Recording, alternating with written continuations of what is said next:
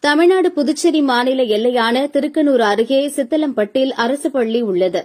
ஆயிரத்தி தொள்ளாயிரத்தி எண்பத்தி ஐந்து எண்பத்தி ஆறாம் ஆண்டில் பத்தாம் வகுப்பு படித்த முன்னாள் மாணவர்களின் சங்கமம் என்ற நிகழ்ச்சி அப்பள்ளியில் நடந்தது. முப்பத்தி எட்டு ஆண்டுக்கு பிறகு ஒன்றாக சந்தித்த ஐம்பத்தி ஐந்து வயதுள்ள முன்னாள் மாணவர்கள் அறுபது பேர் குடும்பத்துடன் கலந்து கொண்டனர். அவரவர் நினைவுகளை பகிர்ந்து கொண்டனர். ஆசிரியர்களுக்கு நினைவு பரிசுகளை வழங்கி கௌரவித்தனர். காலில் விழுந்து பாதம் தொட்டு வணங்கி தங்களது நன்றி கடனை செலுத்தினர். நான் இப்பள்ளியில் இருபது ஆண்டுகள் பணிபுரிந்தேன். இருபது ஆண்டுகளிலும் பெற முடியாத ஒரு இன்பத்தை ஒரு மகிழ்ச்சியை இந்த விழாவில் கண்டேன். நான் உடல் நலம் சரியில்லை என்றாலும் இந்த விழாவினை கண்டவுடன் எனது டென்ஷன் மற்றபடி உடல் நலம் எல்லாமே சரியாகி விட்டதாக மருத்துவர் இல்லாமல் அனைத்திலுமே நான் குணமடைந்ததாக ஒரு மகிழ்ச்சியோடு இல்லம் செல்கின்றேன். இதற்கு மேல் சொல்வதற்கு வேறொன்றும் இல்லை. நன்றி. நல்ல முன்னேற்றம் மாணவர்கள். ஒரு கிராம சூழ்நிலை. நான் இப்பள்ளிக்கு வரும் பொழுது கிராம சூழ்நிலையில் இப்பள்ளி நடைபெற்றுக் கொண்டிருந்தது.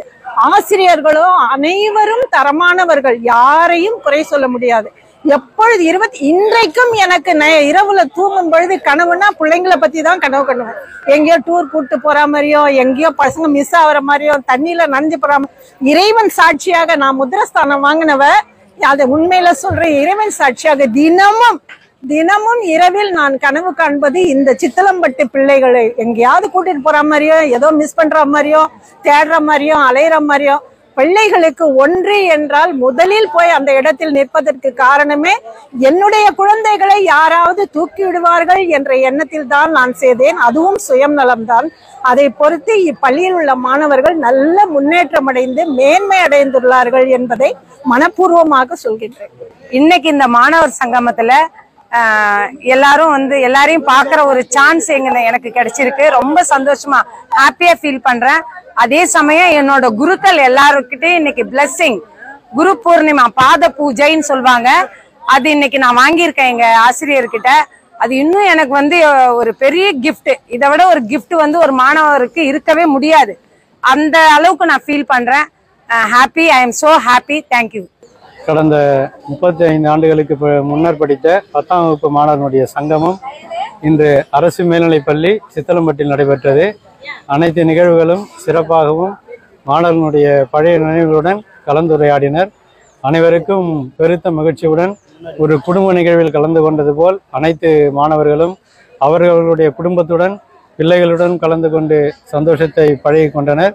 விட்டு போயிருந்த நினைவுகளையும் மீண்டு எடுத்துள்ளனர். இந்த நிகழ்வுகளின் மூலமாக அனைத்து ஆசிரியர் பெருமக்களும் கல்வி போய்த்த ஆசிரியர்களுக்கு பாதங்களை தொட்டு ஆசீர்வாதம் பெற்று அவர்களுடைய ஆயுளையும் பெருக்கிக் கொள்வதற்கும் எங்களுக்கும் ஆசி வழங்குவதற்கும் வாழ்த்துக்களை கூறினார்கள்.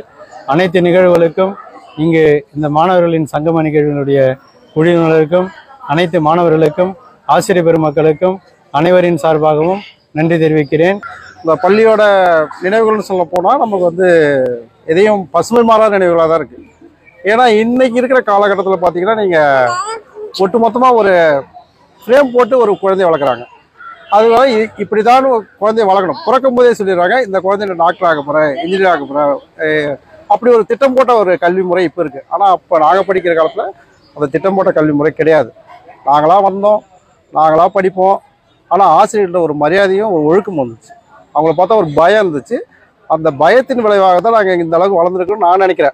ஏன்னா என்னுடைய கெரியரில் பார்த்தீங்கன்னா ஒரு பெரிய நல்லா படிக்கிற பையன்னு சொல்ல முடியாது. அதே போல் அந்த காலகட்டத்தில் வந்து நான் இந்த டீச்சர்ஸ் கூடயும் யாருக்கிட்டையும் நான் மிங்கிள் ஆக மாட்டேன். ஏன்னா ஒரு பயம். டீச்சர்ஸ் திட்டுவாங்களா? அப்படி இப்படின்னு ஒரு பயத்தில் இருந்தோம்.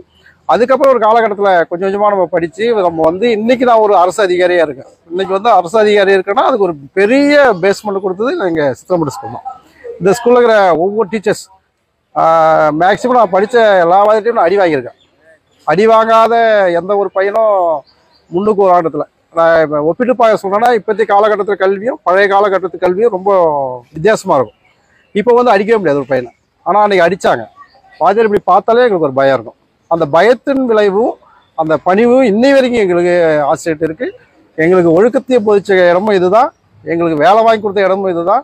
இன்னும் நாங்கள் எந்த அளவுக்கு நாங்கள் முன்னுக்கு போனாலும் பெரிய ஆளாக மாறினாலும் எங்களுடைய அடிப்படை எங்களுக்கு பேஸ்மெண்ட் போட்டு கொடுத்தது எங்களுடைய பள்ளி தான் அதனால் எங்களுடைய இந்த நேரத்தில் எங்களுடைய ஆசிரியர்களுக்கு எங்களுடைய அனைத்து ஆசைகளுக்கும் எங்களுக்கு போதித்த அனைத்து ஆசைகளுக்கும் மனமார்ந்த நன்றியை தெரிவித்துக் கொள்கிறோம்.